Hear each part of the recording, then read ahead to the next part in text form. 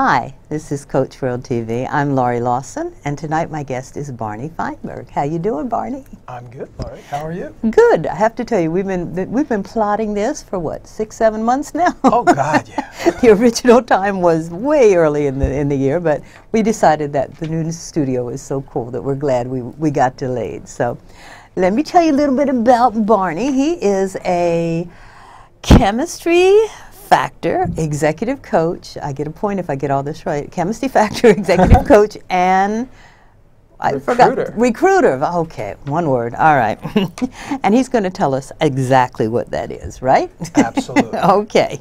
First, what we want to know is, um, I guess, how'd you get here? It's like, what you doing here? what am I doing here? Oh my goodness. Um, well, it all started I was born. yeah, in Log Cabin. No, yeah.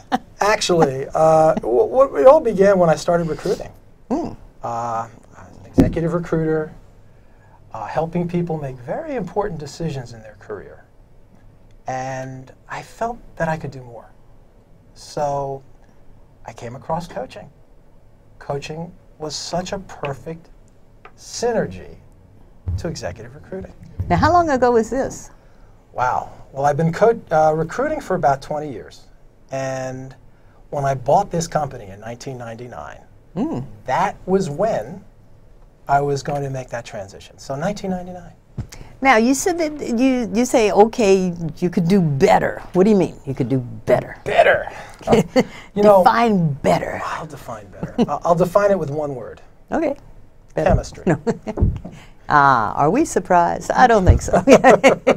Chemistry, okay. Chemistry, yeah. Um, I find that the most important factor when hiring or taking a job is chemistry.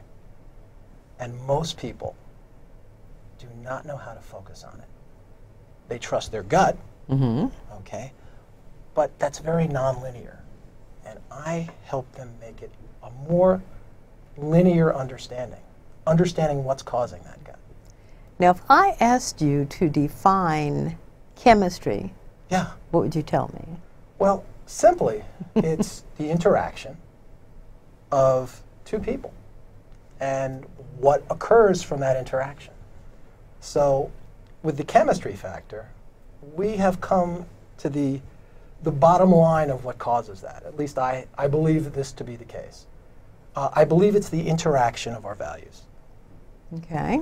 When we are honoring a value that is being honored back, the chemistry is pretty good.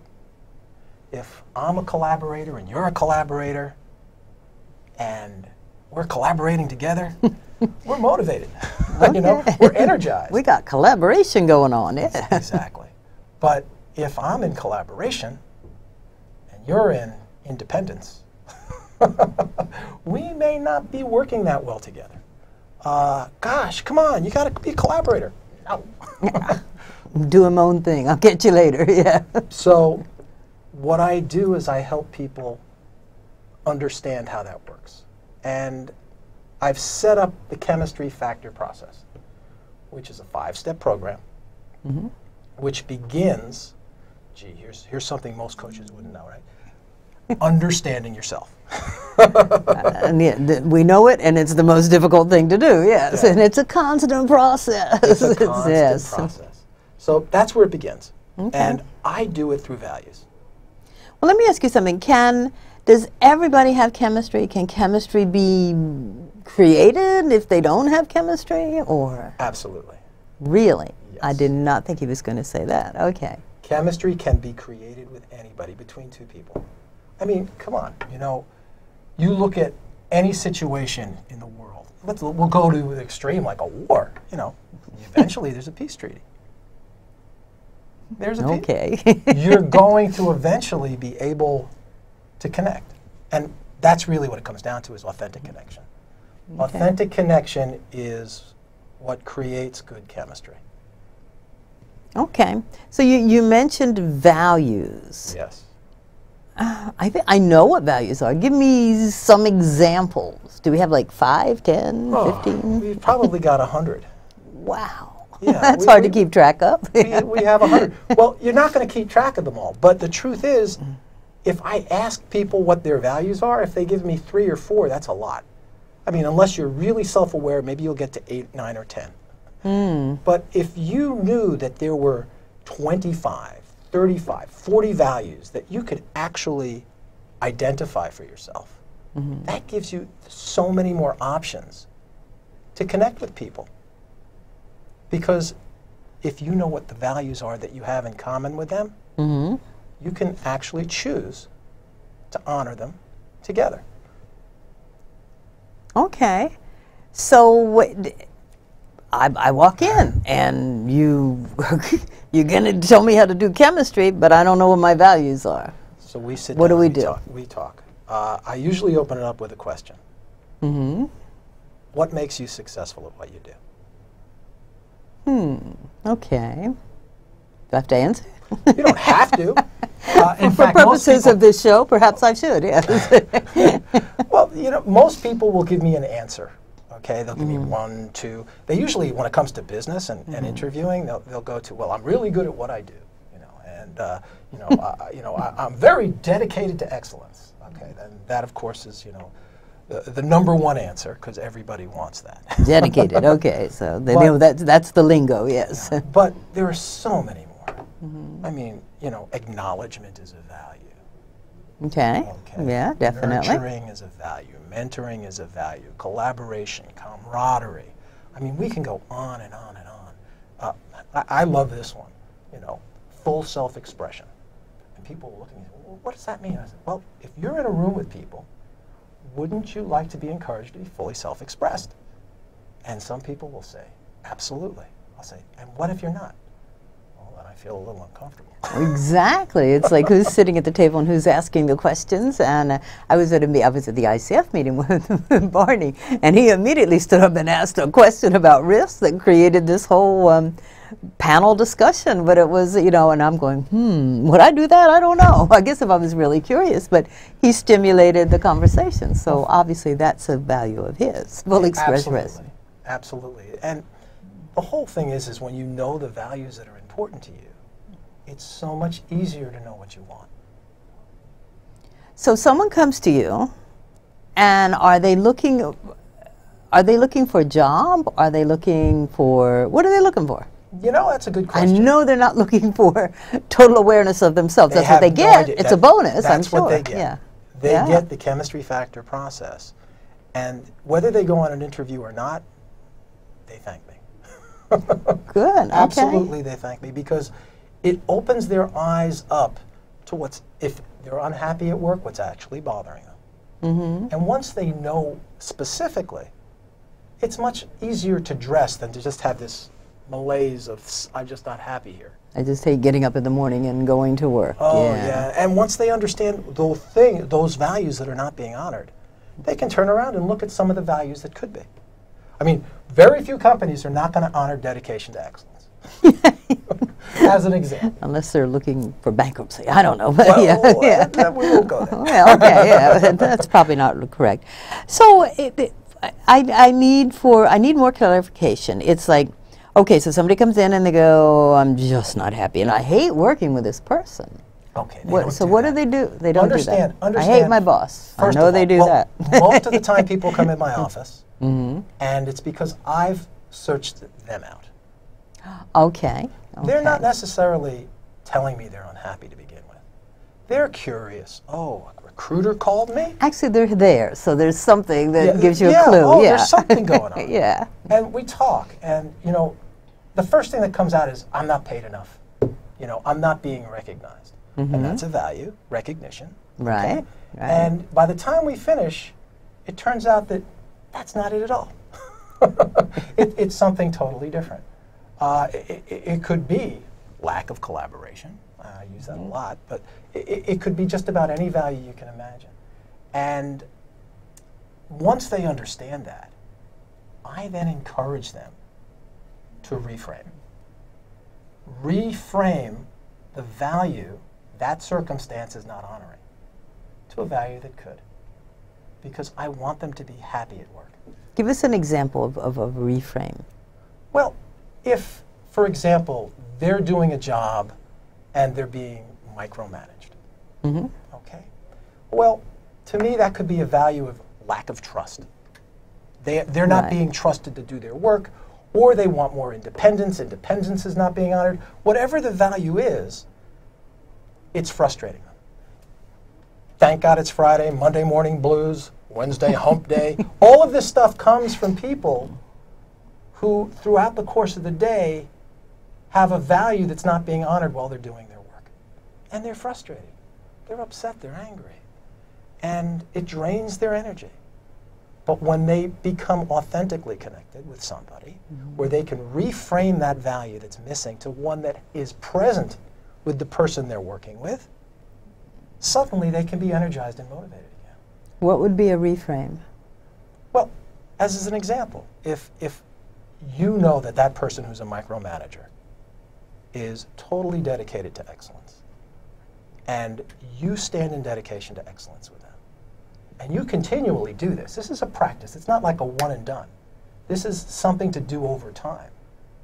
Then suddenly, they stop micromanaging you because they say, wow, this person really gets me. I trust them. now." Ah, okay. You know, it's got nothing to do with the individual. It's got to do with the person that they're talking to. And when you reframe how you're with them, suddenly it's like, whoa, I'm more comfortable now. I know you're familiar with quantum physics. Okay. Yeah. A little. Are you familiar? You're familiar with the movie What the Bleep? yes, yes. What the bleep do we know?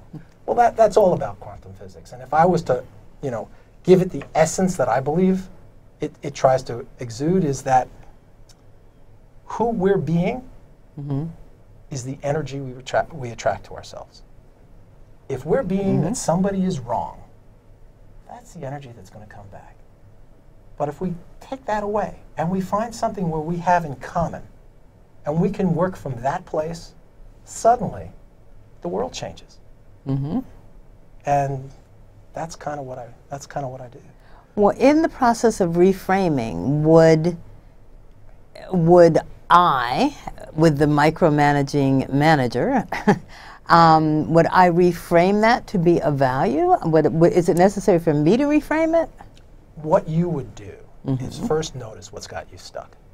Ah, that you know, it's interesting you say that because I, I sometimes I do mentor coaching and I tell my mentees it's like your client's going to call you and then go, this is my problem, and you in my head I always go, I know you think that's your problem. Let's find out what it really is. So okay, I'm walking in and I'm not happy, but first you're telling me. The one thing I have to do is find out what's what's hitting my button, what's Yeah. what's doing this. Name Yeah. the value that's not being honored. Mm, And okay. once you realize that's the value, well, you've only got 99 others you can go to. True. you know, I, I, I mean, Einstein said it for me best. Definition of insanity: doing the same thing over and over and over again and expecting a different result. Well, if you keep going to lack of trust with that micromanager, mm-hmm. you're nuts. I don't know if I understand said you're nuts, but no. Insane. yeah. but okay, so okay, so all right, so I'm, I'm I'm starting to see the light, which is cool. So what you're saying is, if if a value isn't being honored, rather than uh, fight that and go, okay, I am trustworthy. Why are you managing? It's like go find another value wi- that you could have with this person that could be honored. Yes, and then suddenly your whole relationship changes. Now, does that mean that my need to be trusted is obliterated?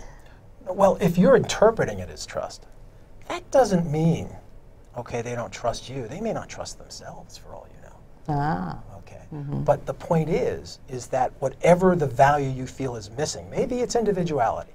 Maybe, boy, I like to be an individual, and this person's, you know, hovering over me, and it's really uncomfortable. Okay. And so then that's the value you have to look at, and say to yourself, so what can I replace with that? And I'm not saying that you do that because you want to connect with this person for life, but the happier you are where you are now, the why more- not? Yeah. yeah, you know, you, you, the more the more productive you're going to be. Mm-hmm. Happiness, productive, success, it all correlates, and it really comes down. I, I think the common denominator is values. Okay, so You, I say I have four. You say I have billions. so many stars. so just too, too much to count. How do how do you help people figure out their values? well, I've been doing this for a long time. I know. That's why I 14 want to. I want. I want to pick your brain. Absolutely. In every conversation, there are values shared. Okay. In every sentence, it's like waves that wash over us. And in those waves are values. And we feel them, but we're not identifying them. We're not consciously identifying them. So- Because the person isn't going.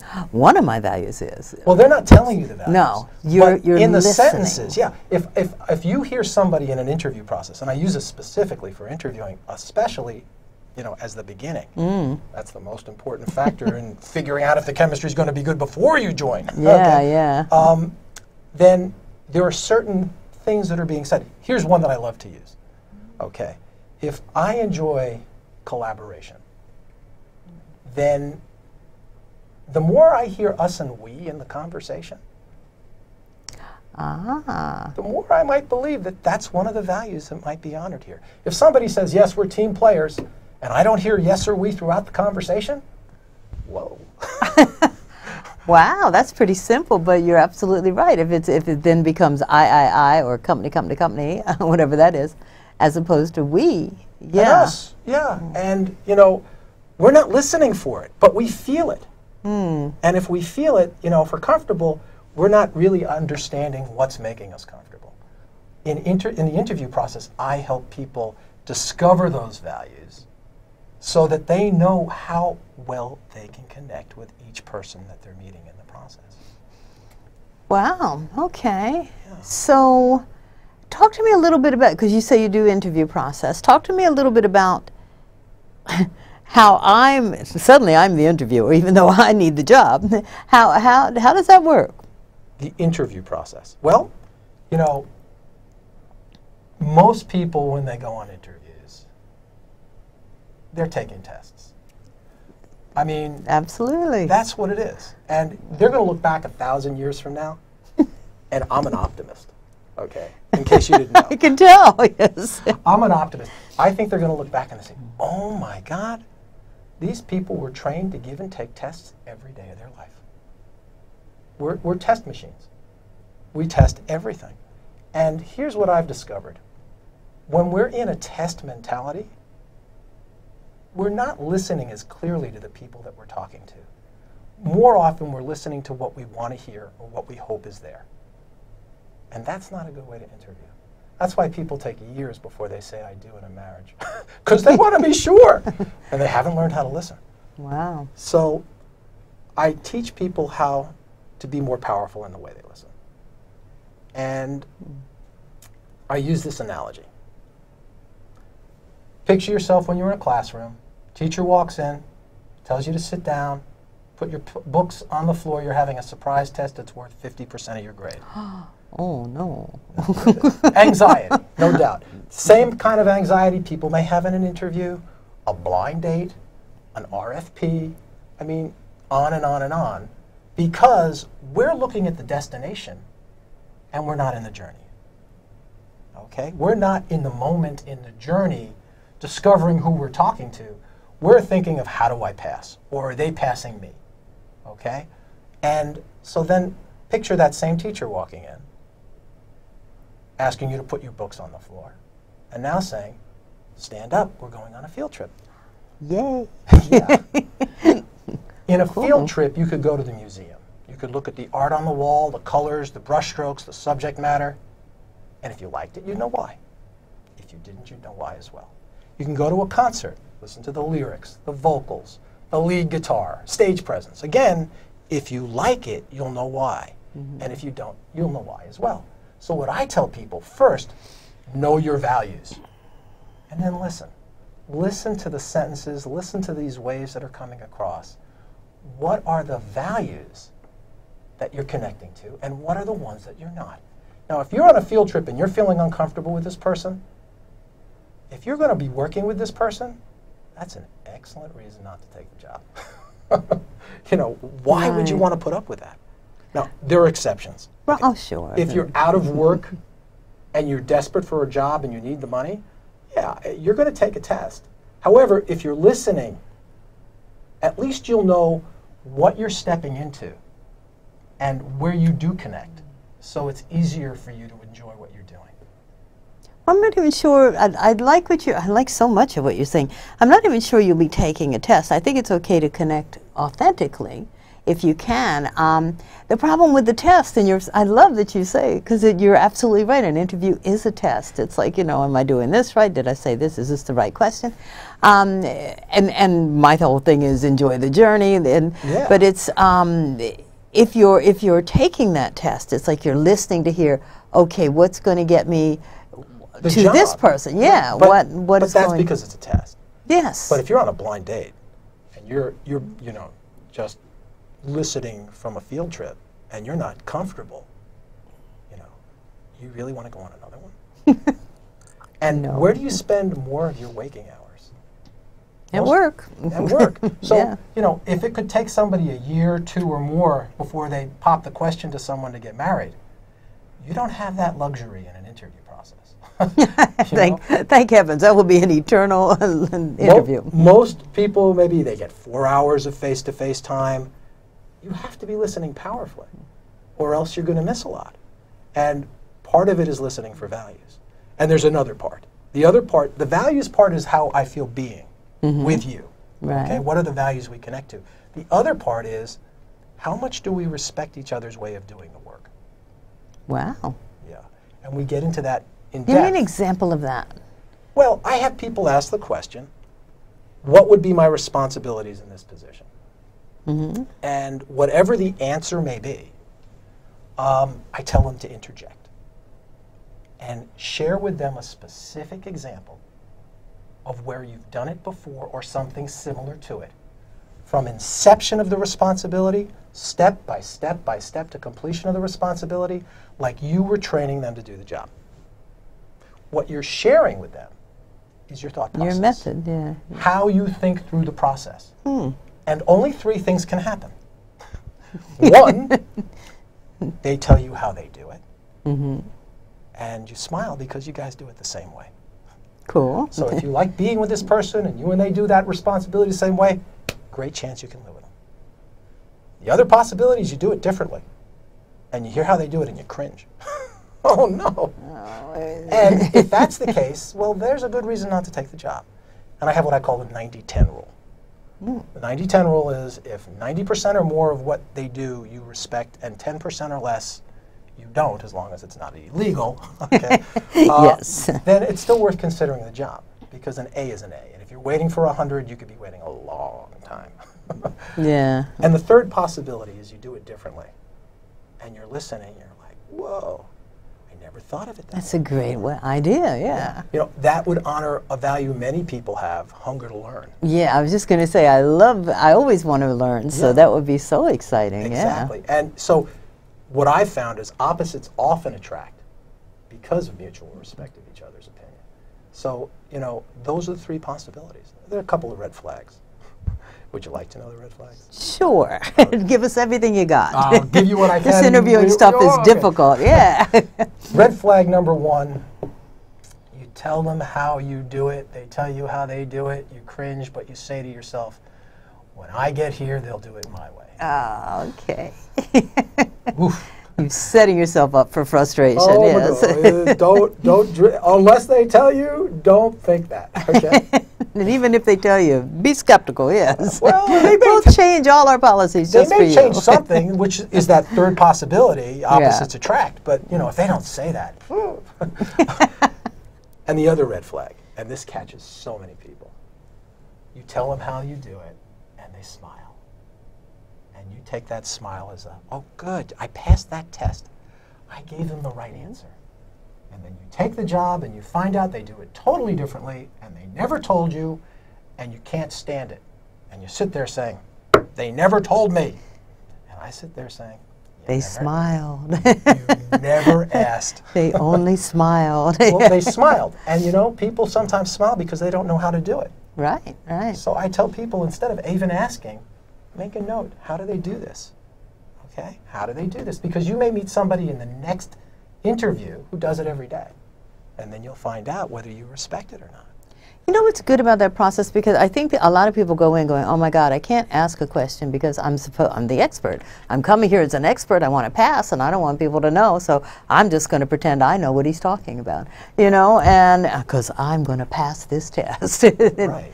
And, that, and I'm sure it gets a little. Um, that's where It gets confusing, And, and people will start. You know, you've heard. I've seen so many times where people take jobs and then six months later they're unhappy because they didn't know this and they didn't know that, and the job they thought was this was that, and you know, and I didn't know these people, and I'm like, well, that I do believe in romancing. Mm-hmm. I believe in the interview romancing. If you want to see somebody else, see them. If they don't want you to, ask yourself, do I really want to work here? you know, I mean, Oh, okay, that's a sign if, if they don't think chemistry is that important, And and you're working on. Oh, I hear you. Okay, that's good. All right. Um, and if you're romancing, bring a little flower. No, I'm just kidding. bring some flowers, a little moon music, whatever. Well, you can romance. you can romance with a story about your family if you think that family is a value that they honor, and you know, or something of that nature. And that's what happens in interviews. Eventually, the good interviews, you lose all sense of time, and you start talking about personal life, and that's when you know that there's something going on. The key is to know what that something is. So, so are you saying that you what you really want is to have an authentic conversation? Really, I mean, it's it's not a matter of you want to hit the points, you want to listen to what they're saying and answer, but you want to answer based on values, your values. Y- Well, yeah, you want to. Well, you want to know what values they have that interact with yours, and which ones that don't. I mean, no one's going to have all your values. I mean, that's impossible. That's nirvana. Yeah, But and they be they you get know, on your nerves with- after you a know, while. you know where not to go with certain people. Okay, Mm-hmm. we know that already, but Right. we don't. You know, we only know it from like getting hit over the head too many times. I'm suggesting you don't get hit over the head. I'm, I'm suggesting you know right up in the Wear a front. helmet. Yeah. your helmet are your values, okay? There you go. Listen, we got 45 seconds. Do you believe that? Wow. Um, so tell people if they want to learn more about values and chemistry based um, or chemistry factor and how can they where can they find you Uh, well, you can go to my website, www.lifebalancerecruiting.com, right on the bottom there dot com or you can email me, Mm, B cool.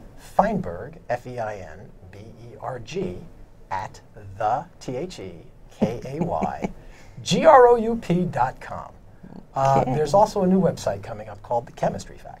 Ah, and a book in the works, but we won't talk about that. I can, I can only say how thrilled I am that we finally got to do this, and that um, I thank you for coming in and sharing all this knowledge. Thank